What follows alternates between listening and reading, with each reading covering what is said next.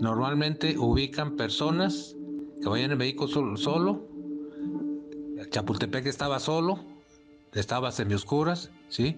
Y vehículos no de modelo reciente. Los comento para que no se vayan a sorprender y estén prevenidos. Eran las 11 de la noche. Circulaba por Avenida Niños Héroes. La vialidad estaba sola y con poca iluminación. Este semáforo estaba en alto. Obviamente desaceleré, dije, ¿para qué llego tan rápido si está en alto el semáforo? Cuando no sé de dónde salió un carro por mi lado izquierdo y se me cierra y frenando. Y a la hora que quiero abrirme hacia el lado derecho, veo otro vehículo, pero yo siento que no le pegué ni nada y arrancó el carro negro y se fue.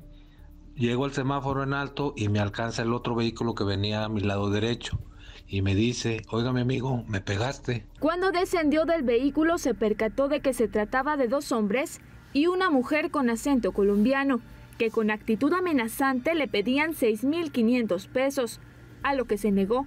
Después le dijeron que les diera 5.000 pesos y no le quedó de otra más que acceder, pues en ese momento ya temía por su vida.